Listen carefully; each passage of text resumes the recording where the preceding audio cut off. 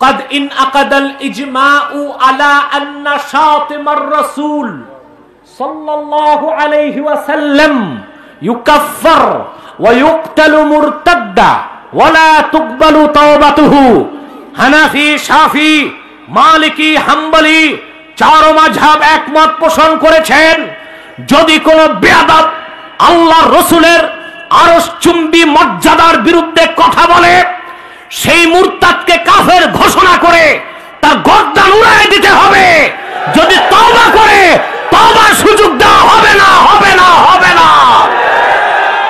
সেজন্য চোদ্দ কোটি মুসলমানের পক্ষ থেকে আমি দাবি করছি সরকারকে যারা এই রসুল্লাহ সানে বেয়াদবি করবে, সেই মুরতাদদের সর্বোচ্চ শাস্তি মৃত্যুদণ্ডের আইন সংসদে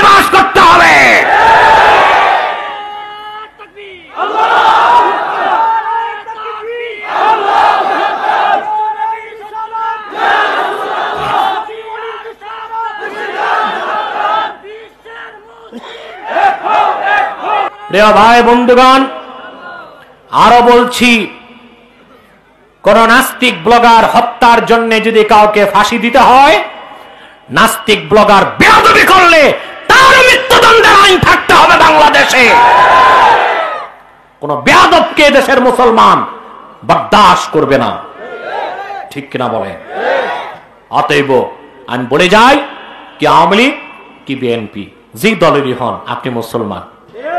যদি হয়ে থাকেন, বজ্রের শক্তিকে কেড়ে আপাদমস্তক শক্তি মুখে সঞ্চয় করে ঘোষণা দেন।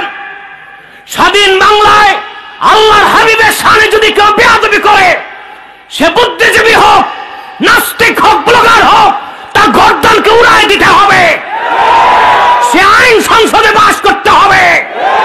এটা মুসলমানের প্রাণের দাবি।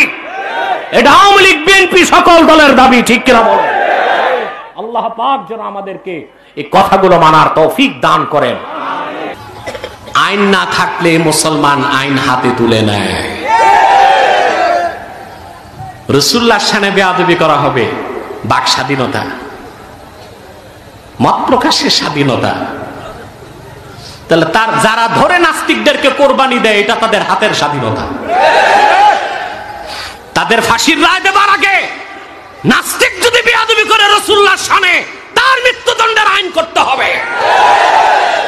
আমার এই বক্তব্যে রাজনীতির গন্ধ খোঁজার চেষ্টা করবা না। এটা সকল মুসলমানের মনের কথা। আমাদের জীবন দর্শন এটাই হবে। ব্যক্তির চেয়ে দল বড়, দল থেকে দেশ বড়, দেশ থেকে আমার জান বড়, জান থেকে আমার ইমান বড়, ইসলাম বড়। ইমান ও ইসলামের প্রশ্নে জন্য আপোষ করতে পারে না।